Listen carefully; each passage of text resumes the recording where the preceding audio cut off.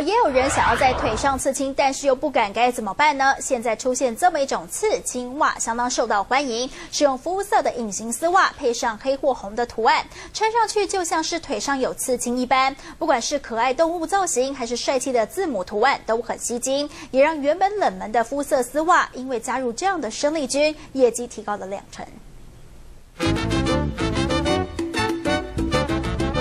百搭的黑色丝袜款，很多人都爱穿。但现在有更流行的，在腿上刺青的丝袜。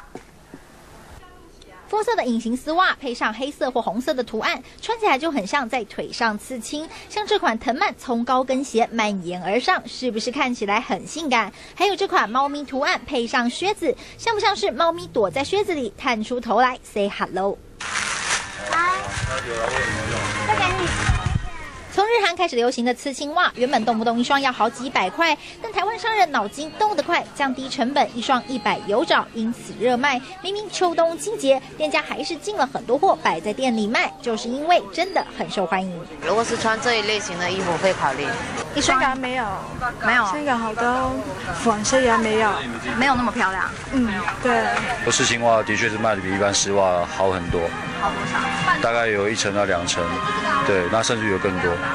在各种刺青袜中，人气最旺的分别是可爱的卡通图案、帅气的字母排列，或是女生喜欢的蝴蝶结，穿起来各有风情。不过，刺青袜大部分是丝袜材质，动作太粗鲁，很容易破。也有消费者反映，刺青图案洗久了会掉色，最好要跟一般的衣物分开来洗。也许耐用程度不如想象，但是穿上它走在路上，真的让人忍不住回头多看几眼。中天新闻徐小佩、张凯亮特别报道。